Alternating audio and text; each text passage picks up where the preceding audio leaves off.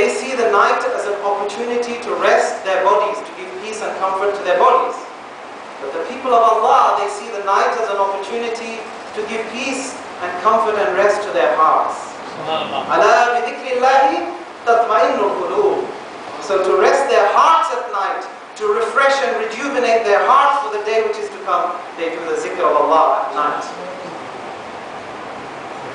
Rasulullah told us about this night. He said, on this night, the deeds of the people, the servants of Allah, are presented before Allah.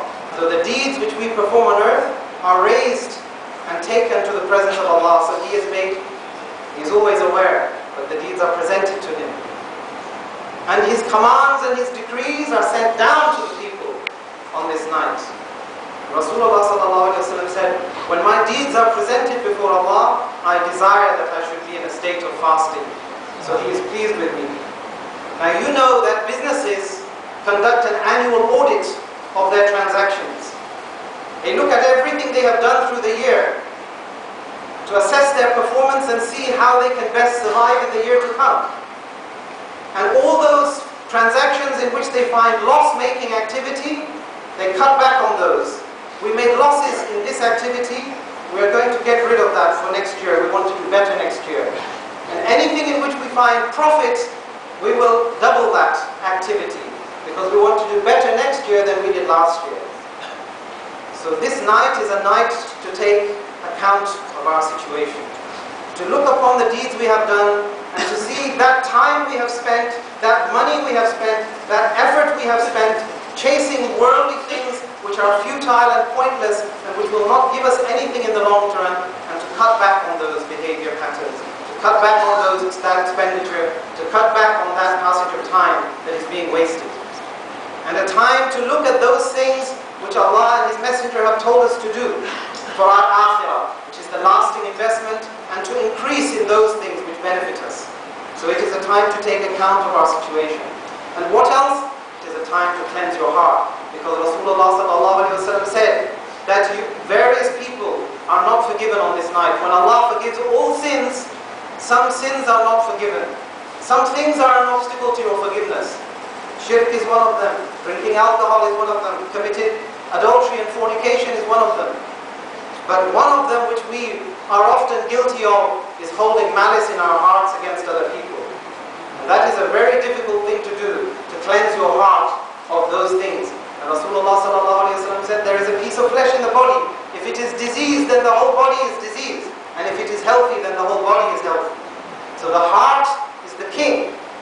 The heart is what commands all the other organs of the body. They say if your heart's not in it, you won't be successful at it. Because the mind, the heart is controlling everything. So you have to cleanse the heart.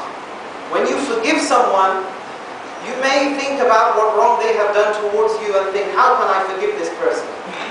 But then remember that the one who created that person is the same one who created you.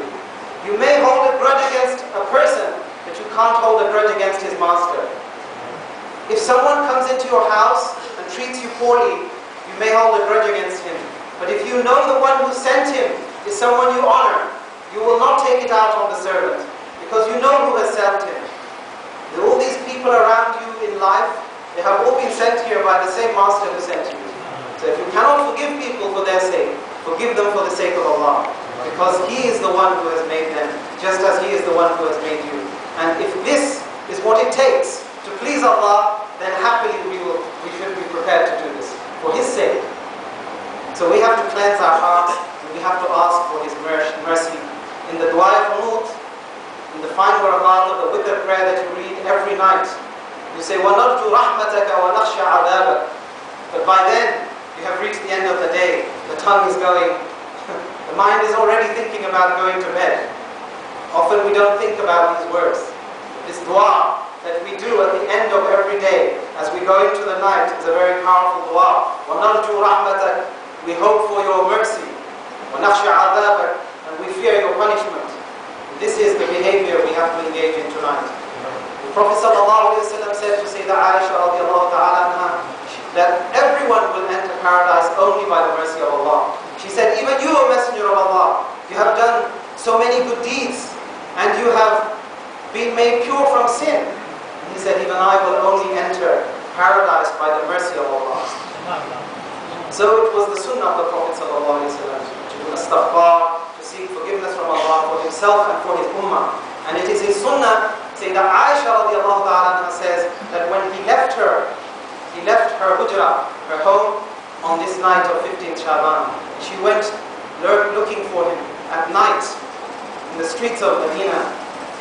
Sayyidah Aisha ta'ala is walking, looking for the Prophet sallallahu who has left her house who would leave the house of Sayyidah Aisha She was the one he loved the most.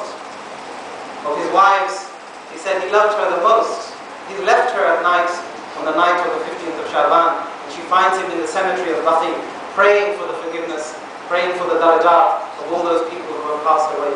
So those of you who have relatives who have passed away, who have parents who have passed away, then remember them. This is one of the ways that you can benefit them after they have passed away.